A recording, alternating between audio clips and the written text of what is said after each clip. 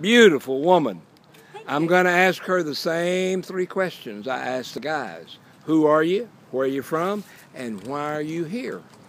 Well, hello. My name is Marte. I'm from Salinas, California, and I'm here just because God brought me here with the rest of the team. Amen. So, What do you do with the team? Do you roller skate? Um, I actually do roller skate, not professionally though. Um, I am a singer-songwriter, so I do a lot of hip hop, R&B, soul. I play the guitar. We need to have you on the Wiley Drake Show playing your guitar and doing. That's fine. We'd love to have you do that sometime. That'd be fun. Love to have you.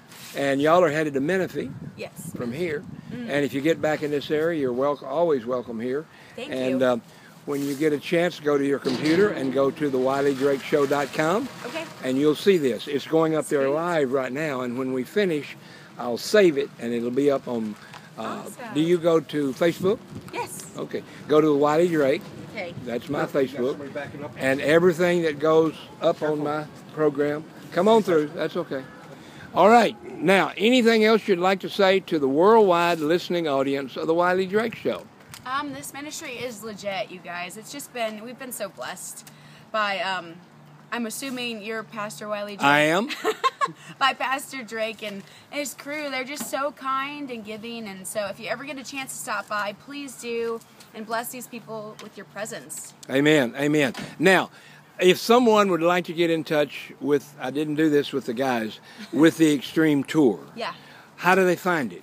Um, you can find us online, theextremetour.com. Make sure The TheExtremeTour.com. "the" is in there because there's other extreme tour. They're not ministries. They're just stuff. Okay, so the So, Expr- Extreme Tour. TheExtremeTour.com. Dot com, Just like okay. it would be spelled normally in the English dictionary, Okay. TheExtremeTour.com. Very good. Very good. Yeah. Anybody else you want to say hello to?